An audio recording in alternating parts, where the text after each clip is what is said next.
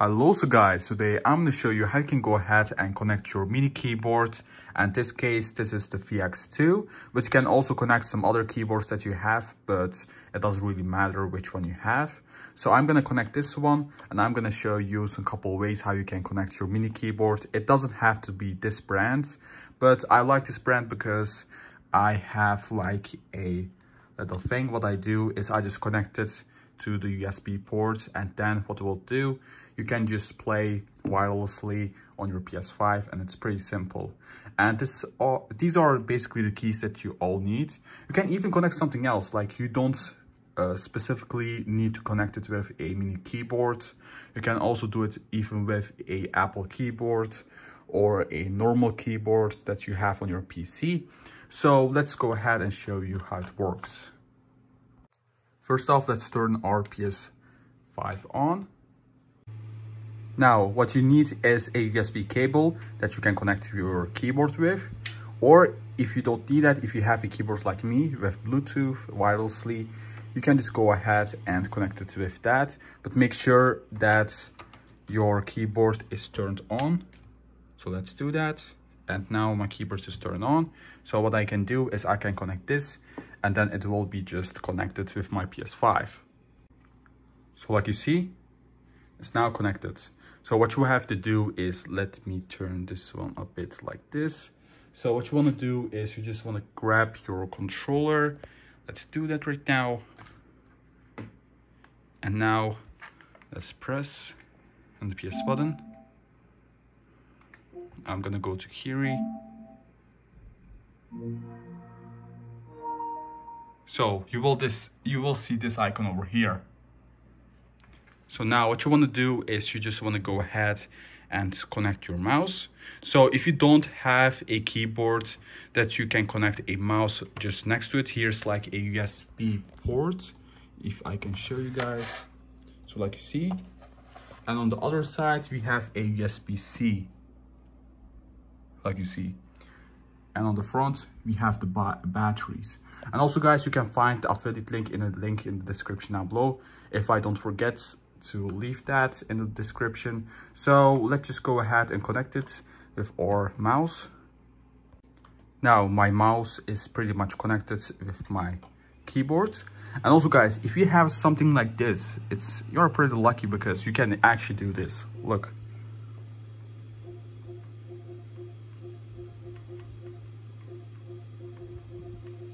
You can basically control some things with your joystick on the side. So that's pretty cool. If you have that option you can do like a lot more better things stuff like that and use it for pretty useful things.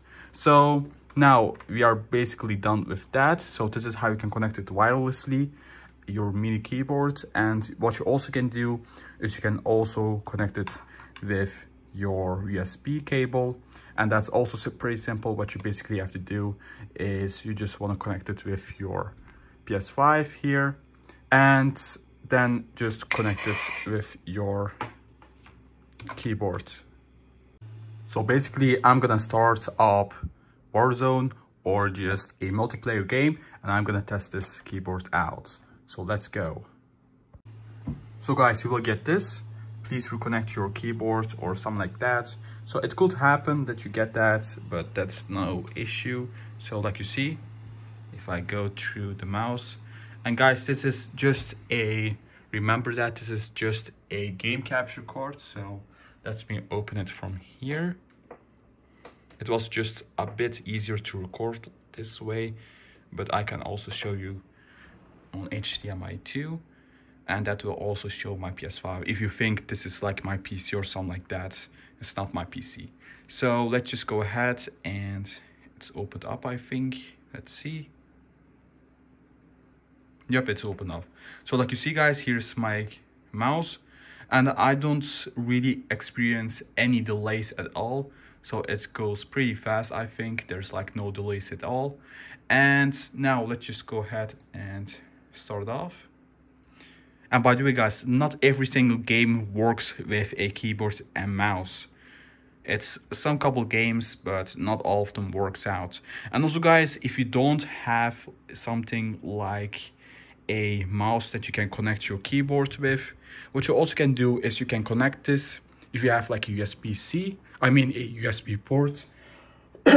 if you have like a USB port, you can just connect it on the back of the PlayStation 5. There's also some couple other USB ports that you can connect it with. So let's do exits and start it off. So guys, if you're playing a game like this, what you want to do is you first want to go to options because if you're gonna just play like this, it's not gonna work. So go to options and then you want to go over to general and on here make sure that your input device is set on keyboard and mouse. So once you click on here, you are basically done. So now what you can also do is you can go to like keyboard and mouse and do some stuff on here. That's just stuff like that basically. So I just want to say guys, if you are using um, crossplay, it's pretty much good to use a keyboard and mouse. But if you turn off crossplay and you use a keyboard and mouse, I don't really recommend you guys to do that. The reason why is it's pretty much unfair to other players but if you are playing like crossplay it's pretty much fair because there's some also pc players that play this game and they do have a keyboard and mouse so that's just my opinion but you can do whatever that you want you can also use some couple other games like minecraft and some other call of duties i think like Black Ops Cold War, but you can just find it out just by playing. But if you have like some recommendations to me, you can just go ahead and comment down below and say like, can you make a video about this game or that game playing with a keyboard and mouse. So we have enabled keyboard and mouse. What we can do is now start off a game. So let's go.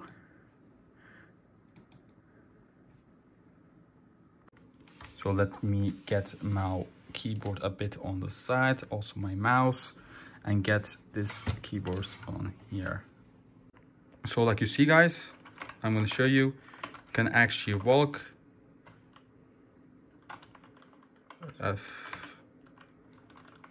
you can just go ahead and also use your mouse like you see. It, uh, these cables are pretty much annoying. So like you see, it goes pretty fast it's pretty good actually. It's like pretty impressive to be honest. So this is just some proof that it actually does work. You can just also find it maybe on my other videos. It also works on your PS4. I also have a video about that on the PS4. It does work. It's pretty great. So this was basically the video guys. I hope you enjoyed it. And this is how you can connect a mini keyboard. In this case, this is the VX2 to your PS5. And also guys, you can follow me on Twitter and Instagram. I'll leave a link in the description down below. So let me use my controller back because I'm used to this controller. So let me go to profile. And like I said, you can also use this. Like you see.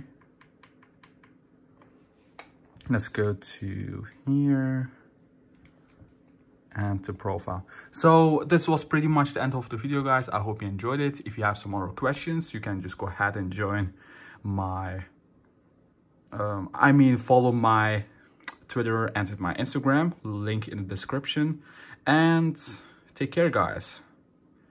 Don't forget to drop a like and subscribe. Goodbye.